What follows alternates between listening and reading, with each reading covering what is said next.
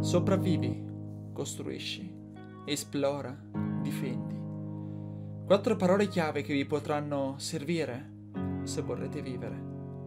Ma ricordate, sette giorni non vi serviranno, perché è molto facile morire in Seven Day to Die. Ecco a voi un gioco coop che potrebbe piacere agli amanti dei giochi Sandbox Survivor.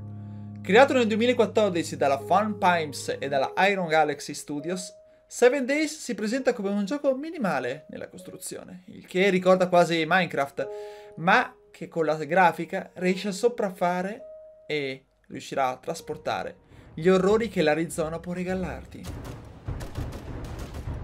Tra zombie, mostri di ogni genere e animali pronti a sbranarvi, Seven Day to Die riesce a dare un bel po' di sfida per chi vuole fare il lupo solitario o per chi vuole giocare in compagnia. Tra armi, trappole e metodi di costruzione, la fantasia di questo gioco potrebbe salvare voi e il vostro adorato territorio. Ma ricordate, avete solo 7 giorni nel gioco e dopo inizia la vera sfida. La luna rossa risveglia la cattiveria dei vostri cari vicini di casa e che diciamo verranno ad attaccare in ogni modo la vostra cara e dolce casa.